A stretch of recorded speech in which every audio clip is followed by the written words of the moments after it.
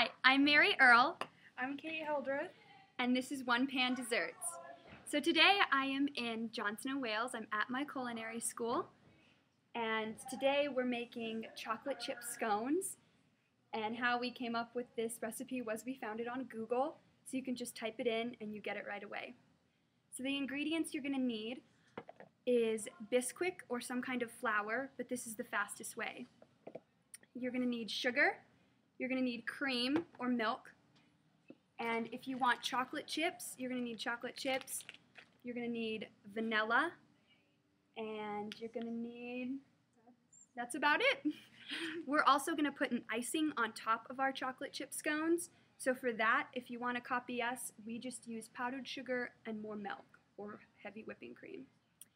Another thing I want to add is that if you want to change your flavor of scone, you can use lemon zest, you can use orange, Beans, blueberries. cinnamon, anything you want. Cherries, Cherries, even dried cranberries is a big one. So whatever you want. So go ahead, Kate. Okay, well, I already have two cups of Bisquick in here and then three tablespoons of sugar. Then you add a third of a cup of heavy whipping cream in there. And then, after that, you add your half a cup of chocolate chips. I like to add extras because chocolate's yummy. then you add a tablespoon, teaspoon of vanilla.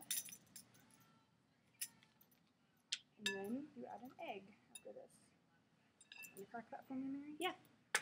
And with this recipe, the measurements for it, or I'm sorry, not the measurements, the temperature for it is 425. Yes. 425 on your oven, have it preheating, and this does not take very much to mix.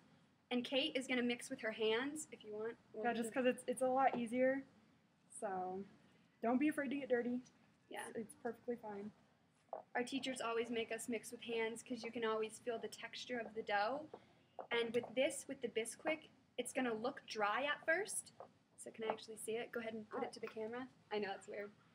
It's going to look dry at first, um, but as you knead it more and mix it more, and it comes together as a dough, it'll look much better. Is it going? okay. It's going to be tough at first, but if it's really that doughy, then what you can do is add a little milk so that it comes together faster. Are you okay though? Yeah, this is fine. So it just takes a while, but And it likes to stick to your fingers. it's like, yeah. So if you want, get your kids to do it since they like to get dirty, or if you want to teach your son or boyfriend or whoever to cook. Mhm. And I actually forgot to introduce my friend, my friend Brianna, even though she doesn't want to be introduced. Brianna is from North Carolina, and I'm going to turn the camera. Here she is. That's Brianna Brown. She's one. She's also in baking and pastry. We all are baking and pastry. Here are our uniforms that we have to wear. I unfortunately have do not have my apron. Go ahead, show off your apron, and I'll leave for you. It's okay. Okay. Well, Miss Bailey Giroux made this apron for me for Christmas last year. It's zebra print, has a K on it, and a cupcake.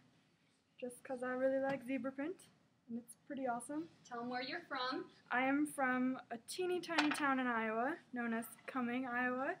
It's a pretty fabulous town. My whole family lives around there. And also, hi, mom and dad, if you actually watch this, and Nicole, and all my cousins and my aunts, if you guys watch this. I swear I'm not doing anything bad at college. I promise. So, Okay. up, Mary. So when they're finally cooked out of the oven, this is what they're going to look like. They're going to look light brown.